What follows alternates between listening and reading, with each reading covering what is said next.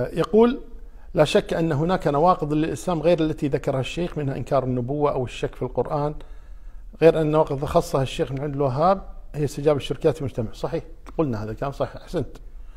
هل من يفعل ناقضا من نواقض الإسلام يخرج من الإسلام؟ بالشروط التي ذكرناها. هل كثرة المعاصي من نواقض الإسلام؟ أبدا. لكنها من نواقص. هو كاتب نواقص يمكن يقصدها. من نواقص الإسلام وليست من النواقض.